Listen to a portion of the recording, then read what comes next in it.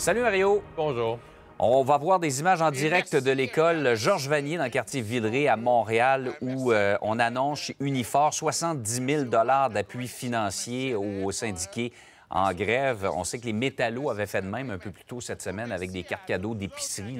Donc, il y a des groupes qui appuient les syndiqués dans ce conflit qui se poursuit. Mario, il faut le dire, là, on est pas mal rendu à la date limite pour avoir une entente pour pas que ça se poursuive au-delà des fêtes, ce conflit-là. Oui, effectivement. Bon, ça, c'est. On, on comprend bien la solidarité entre syndicats. Euh, personne ne remet en doute. euh, Les, euh, les enseignants n'ont pas de fonds de grève. Euh, les enseignants de la FAE, ils n'ont pas plus à la CSQ, Marc, mais ils ont fait moins de grève. Là. Ils, sont, à? Ils sont rendus à 9 ou 10 journées totales, 9 journées, je pense. Alors que là, dans le cas de la FAE, c'est la grève générale illimitée. Et donc, euh, bon, quand, qu'entre syndicats, on s'entraide. Je sais que ça choque des gens. là. Il y a des gens qui disent qu'ils ont fait le choix d'avoir la grève. En même temps, ce sont des fonds privés. C'est, les, ouais. les cotisations d'un autre syndicat qu'on se partage en solidarité syndicale euh, pour aider des gens. Dans le fond, euh, ça paraît beaucoup 70 000, mais quand tu vas le diviser euh, entre des gens... C'est mal- pas tant que ça. non, non, quand tu vas le diviser entre le nombre de personnes mal prises là, qui n'ont pas de paye, là, on imagine un peu le problème. Mais oui, le vrai problème, il est pour les parents. là. Le vrai problème, il est là. Euh, J'essaie de faire le portrait le plus précis. Euh, D'abord, ce que François Legault avait souhaité, l'école lundi, on oublie ça, ça c'est fini. Donc là, il reste le scénario d'avoir une coupe de jours la semaine prochaine. Je vais te dire franchement, là, ça vaut ce que ça vaut. Là. Certains vont dire, ouais, c'est quand même bon que les enfants leur redonner un petit contact avec l'école parce que concrètement, euh, tu sais, ça fait cinq semaines là, que les enfants ne sont pas à l'école. hein. Euh, si on les réunit, là, mettons, euh, je- en fait, je dis ça, ça va faire cinq semaines la semaine prochaine. Donc, si on, mettons, on reprenait l'école jeudi pour deux jours, jeudi, vendredi, à la veille de Noël, on va faire un petit peu de révision. Mais entre toi et moi, quand on va revenir au mois de janvier, il va falloir qu'on re-refasse cette Ouais. révision-là. Fait que, Bon, avant les fêtes, c'est pas mal bousillé. Ouais, avant les fêtes, c'est complètement bousillé. Donc, il faudra parler de sept semaines. Euh, un arrêt scolaire de sept semaines. C'est presque des vacances d'été qu'on aura eues. Mais là, euh, il faut s'entendre. C'est que si on s'entendait cette semaine là, avec le FAE, la bonne nouvelle, c'est pas tellement ces, mettons, deux jours ou trois jours qu'on aurait la semaine prochaine, qui valent pas grand-chose. La bonne nouvelle, ce serait plutôt de savoir qu'au moins c'est réglé et que l'école pourra reprendre. Euh, bon, il faut que ce soit réglé avec le Front commun aussi. Parce que si on n'a pas le personnel de soutien, ça, on ça, marchera pas plus. on pourrait avoir une entente avec la FAE, les enseignants de la FAE de retour au travail, mais pas à l'école, chez eux. Mm. Parce que si les écoles sont... Si on n'a pas le personnel de soutien au travail, si on a le personnel de soutien dans une grève générale illimitée, les écoles vont être encore fermées. Mm. J'ai fait de la recherche. euh, je, je vais écrire pour le journal de demain, là. Mais j'ai commencé la recherche hier après-midi, puis hier soir. ben, c'est complètement fou ce qui nous arrive au Québec, là. J'essaie de trouver d'autres pays où il y a eu des grèves d'enseignants comme ça, de cette longueur-là. Je pense qu'on on a, on a un peu perdu le fil, là. On, on se voit plus, là. Je pense que quand on va repenser à ça dans l'avenir au Québec, là, le sang va nous glacer. là. on se rend... Ah, Tu sais qu'en France, ils ne ferment pas les écoles, là. Mais ça m'a Euh, t'as- surpris quand tu m'as dit ça hier, que dans le monde, il y avait presque pas. euh, J'ai pensé à la France. Ils sont assez forts Les sur les spécialistes grèves. des grèves, là, Ouais. c'est arrivé des grèves d'enseignants, jamais d'aussi longues, puis ils ne ferment pas les écoles. Il y a un accueil minimum obligatoire. OK. Organisé par la mairie. là. Si les profs font tous la grève, à la limite, l'idée qu'on ferme les écoles puis que même les enfants les plus démunis, puis personne. L'idée du cadenas à la porte de l'école, ça se C'est impensable. ça se fait pas, c'est impensable. C'est- tu te mets à lire sur ce qui s'est fait ailleurs dans le monde, les pires grèves qui sont passées à l'histoire dans les pays sont plus courtes que la nôtre. là. Les pires grèves dans d'autres provinces canadiennes, dans l'histoire, tu remontes jusqu'à jusqu'à la Deuxième Guerre mondiale, c'est on est vraiment totalement pas, pas conscient de ce qui est en train de se passer. Dans notre propre histoire au Québec, c'était arrivé une.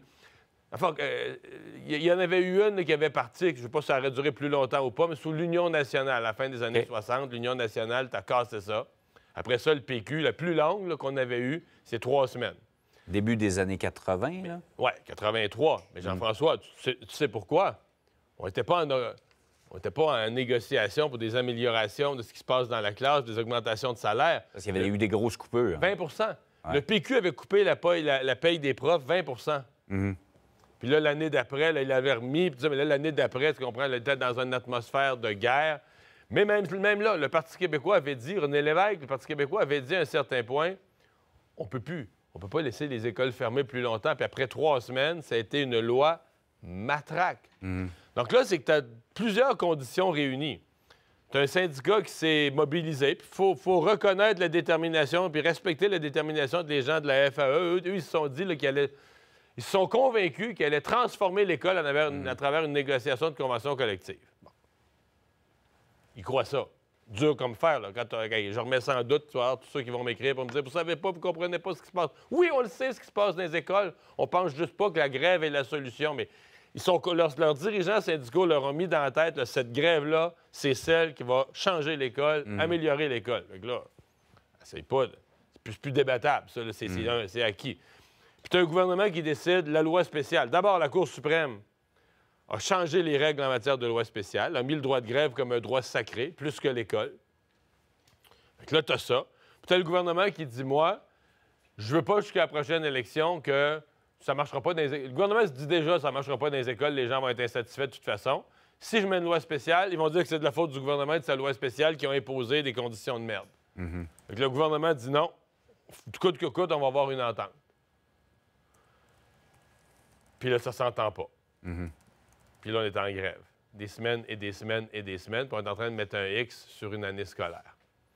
Oui, il n'y a, pas d'indice très encourageant non plus présentement. Ben, là, je, ne peux pas croire, je peux pas croire, sincèrement, si c'est ma dernière journée avant les fêtes, si on peut faire un vœu de Noël, qu'au moins, qu'au moins on règle ça, sinon aujourd'hui, la semaine prochaine, pour que on, revienne, là, on parle plus de ça. Là. On parle plus de ça autour de la dinde. On se remet en mode, tout le monde, autant les enseignants, les élèves, on se remet en mode retour à l'école. Mhm.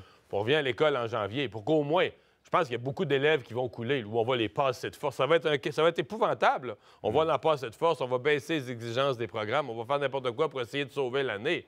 Mais, pas sauvable pour un bon nombre d'enfants. Mais bon, euh, au moins, malgré tous les dommages qui auront été causés, au moins qu'on revienne à l'école après, après le jour de l'an, s'il vous plaît. Par ailleurs, Mario, pour nous en Occident, le Hamas, c'est un mouvement terroriste qui a massacré 1200 personnes le 7 octobre dernier, qui garde un peuple en, littéralement en captivité, qui, qui se fait massacrer. C'est l'histoire qu'on se raconte, là. Hein? Oui. Puis quand on parle d'aide humanitaire, on dit Ouais, mais là, Israël frappe. Mais là, c'est la population civile qui est frappée, mais la population, elle n'a pas demandé ça, que le Hamas commette ce geste ignoble. Mais cette même population-là, elle soutient le Hamas. Ben oui, cette population-là, elle a demandé ça. Hmm. C'est un sondage.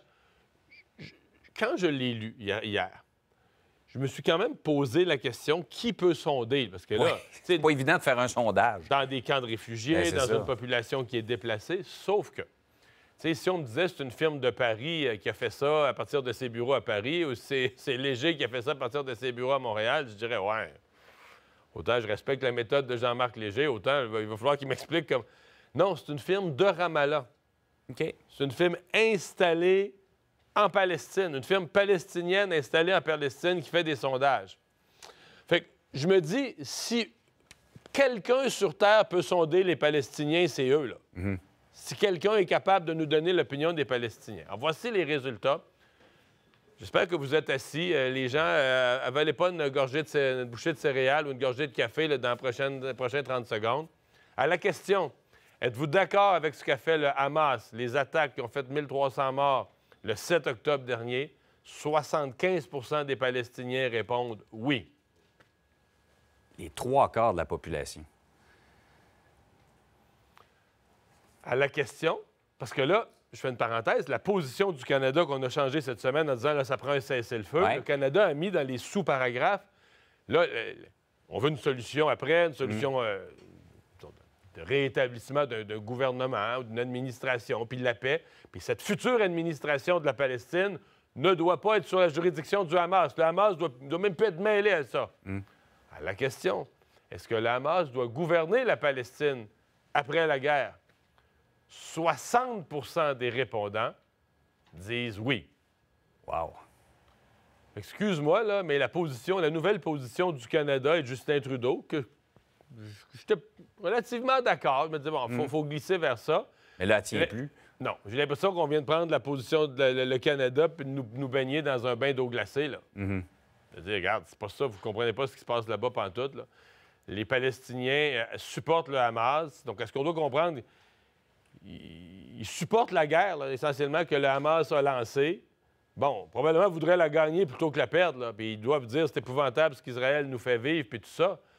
Mais l'état des c'est que l'état, le compte de fait qu'on s'est fait, nous, là, d'une population éplorée qui ne voulait pas de cette guerre, puis les femmes et enfants sont, en sont victimes. dans le cas des enfants, je pense pas qu'on peut les tenir responsables, mais dans le cas des adultes, on doit quand même penser que ce qui se passe, c'est le souhait, en tout cas, ce qui se passe, ce qui a été déclenché par le Hamas, c'est le, souhait d'une forte majorité. Et ce que nous, on s'est fait dans notre scénario mm. de, peu de, licorne, de dire, ah ben là, il euh, faut mettre fin à cette guerre, un cessez-le-feu, puis après ça, avoir une administration pacifique, avoir une administration qui n'a pas de Hamas dedans. Ça n'arrivera pas. Ça n'arrivera pas. On mm. rêve en couleur. C'est pas du tout ce que le Hamas veut. Alors, c'est une douche d'eau froide pour ah les pays comme le Canada qui, ont une idée de ce que devrait être la paix. Puis, légitime, là, je comprends que nous, on souhaiterait ça, mais c'est pas connecté, en tout cas, sur ce qui semble être l'opinion publique en Palestine. Mario, pour une dernière fois en 2023, on se retrouve à 10 heures.